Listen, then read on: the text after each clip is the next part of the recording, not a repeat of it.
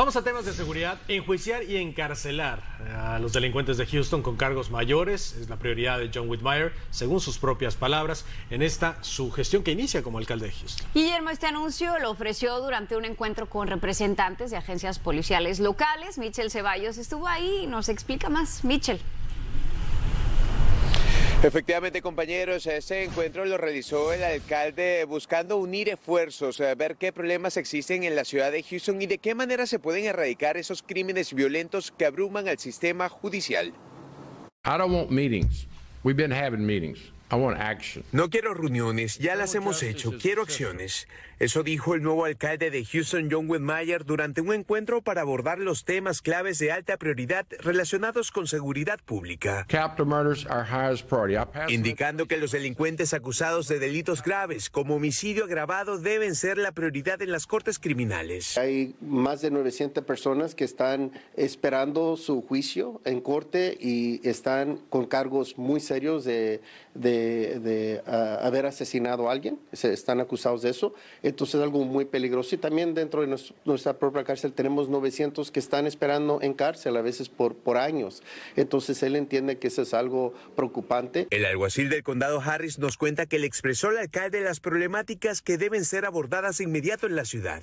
tenemos que ver cómo podemos reducir o crear más ah, más seguridad en las carreteras. Más personas, más personas murieron en las carreteras que por haber sido asesinados este año. Durante el encuentro se habló de la cooperación que buscan entre todas las unidades de seguridad y de qué manera pueden equiparlas. Contratar más policías, facilitar y agilizar los casos en las cortes. Inclusive dijo que se acaban de agregar tres cortes nuevas aquí en el área de Houston y esperamos que eso ayude en los casos que se han atrasado. Uno de los problemas que buscan resolver de inmediato son los retrasos por parte del equipo de ciencias forenses para realizar las evaluaciones de las evidencias y las pruebas balísticas.